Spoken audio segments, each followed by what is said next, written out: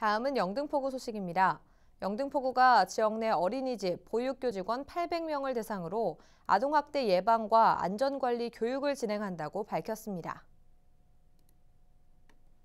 오는 31일 오전 9시부터 오후 5시까지 영등포 아트홀에서 열리며 국공립 어린이집뿐만 아니라 민간, 가정, 직장 어린이집에서 근무하고 있는 교사, 조리원 등 관계 직원들이 모두 참여합니다. 이번 교육은 어린이가 보호받아야 할 곳에서 집중적으로 발생하는 아동학대 근절을 위한 보육교직원의 사회적 역할과 함께 아동 보호와 관련된 안전대책 위주로 진행될 예정입니다.